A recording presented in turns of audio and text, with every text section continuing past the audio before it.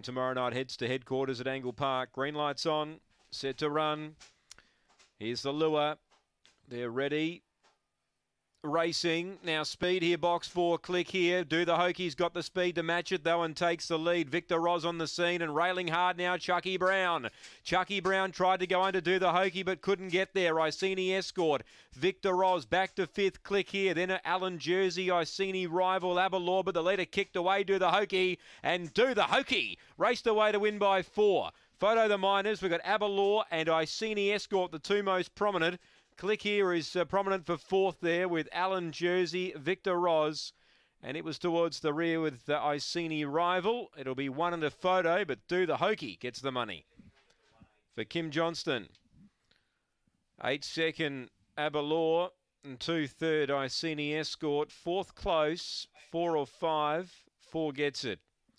One eight two and four. One eight two four here.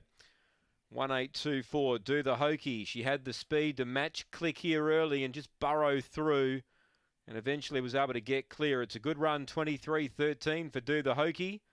Eight second Abalor, two third Iceni Escort, and four is fourth click here.